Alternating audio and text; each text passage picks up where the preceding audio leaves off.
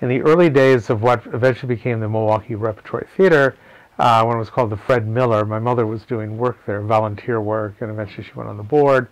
Um, and I spent some time in the summers volunteering, putting brochures in envelopes, addressing things, answering the phone.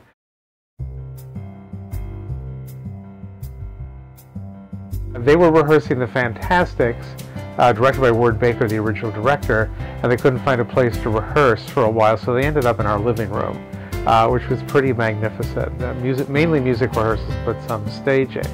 Then when I saw the show, I have to say that when the mute threw the colored tissue paper into the air, I was transported to think that something as simple as colored pieces of paper uh, could look like something wonderful from a carnival, look like fall leaves, look like snow.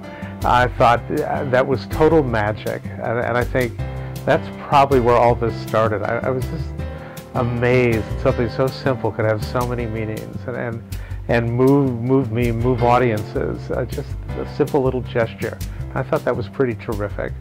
Uh, each play has its own kind of surprise, uh, and then once in a while, uh, the surprise is so amazing that it's a surprise every time. Uh, this year in Sunday in the Park with George, which opens with, with, with a white palette.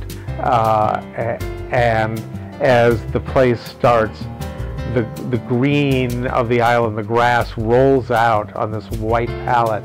And it was magic. It was true magic. Uh, made me tear up every time I saw it. Uh, it's unexpected. It was a surprise.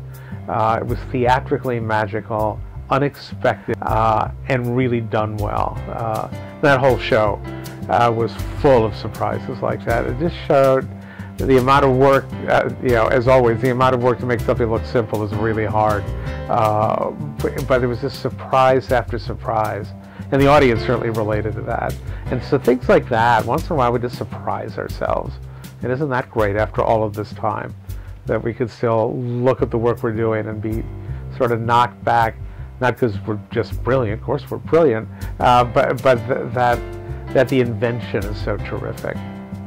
I am Steve Woolf, Artistic Director of the Repertory Theater of St. Louis, and I am theater.